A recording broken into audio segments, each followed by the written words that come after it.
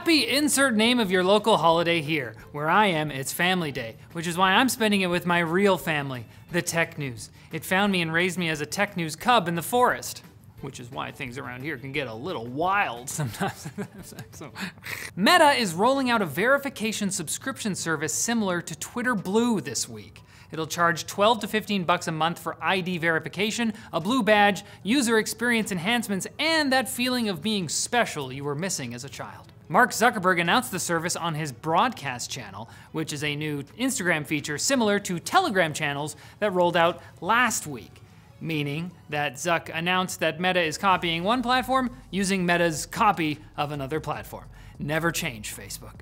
But the move has sparked fears that drastic change is coming to the internet at large. Many people, ourselves included, continue to mock Elon Musk's impulsive attempts to generate some, any Twitter revenue, but if more platforms follow suit, we may be looking at the end of the free web service era. Musk certainly thinks so, calling Meta verified inevitable, and you know he knew the reference people would make based on that. Meta's announcement follows Twitter locking text message based two factor authentication behind the blue paywall, a move security analysts say doesn't make sense since SMS two factor is vulnerable to way more attacks than dedicated authenticator apps and can actually be worse than only using a good password. But a lot of Twitter users probably don't know that and they may be inclined to sign up for Blue if they think they have to pay to secure their account. wow. In a few years, we may be talking about the good old days when internet platforms were free thanks to our personal info being collected and sold by advertisers. I used to run to the corner store and send a tweet for a nickel. TikTok has announced a new creativity program, mm, which promises higher earnings for creators who can somehow manage to post videos that are more than one minute long. Because the more seconds a video has, the more creative it is. This is basic film school stuff. Actually, though, The Irishman, get out of here. The announcement confirms at least part of the information posted by The Information. They knew what they were doing last week and highlights how much TikTok has changed in the six years since launching with a 15 second limit on videos. Now, the thirst traps play simultaneously alongside Family Guy clips and footage from Endless Runner mobile games. It's way different. But the creativity program specifically requires high quality original content to be eligible for more money. So hopefully, our old pal capitalism can fix what was broken by its dark counterpart, capitalism. It's like the good bad. It's a spy versus spy, you know. It's like, and Nintendo might be making it a little easier to access its library of retro games if we follow the path of potentially baseless but interesting speculation laid out in this Ars Technica article. Ars Technical article.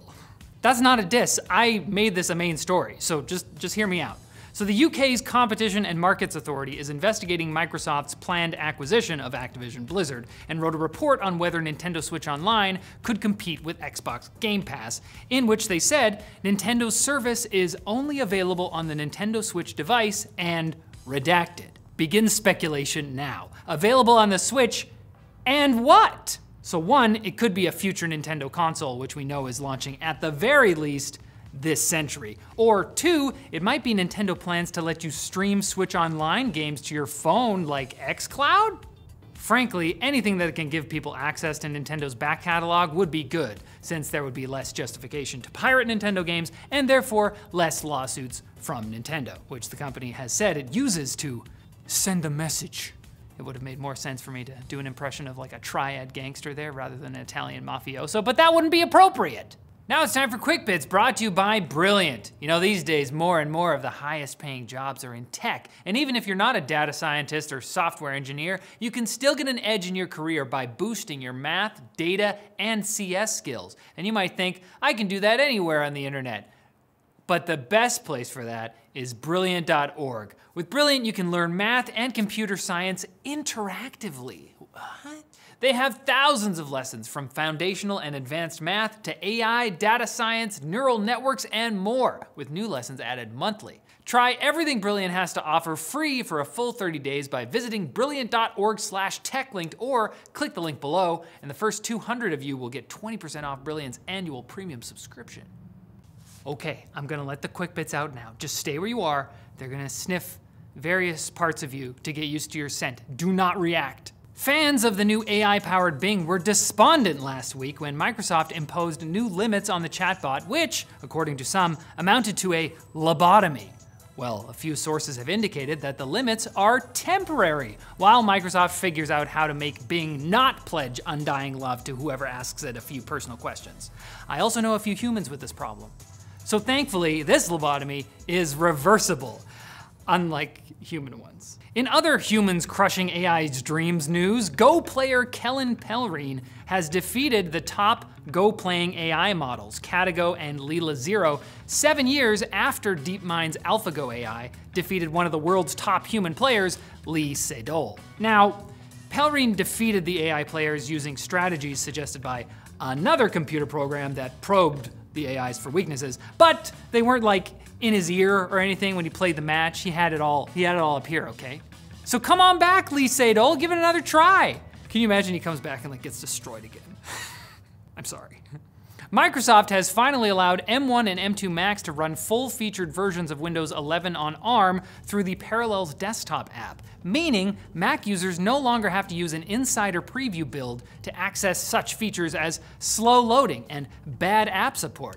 Okay, that's not fair. I haven't tried Windows on ARM for a while, so in terms of ARM processor support, now it could be slightly better than way, way worse than macOS. Chrome has gotten a new update that adds Energy Saver and Memory Saver, features that will help the browser use less energy and memory, respectively, by snoozing inactive tabs, which can then be reloaded by clicking on them again, the tab.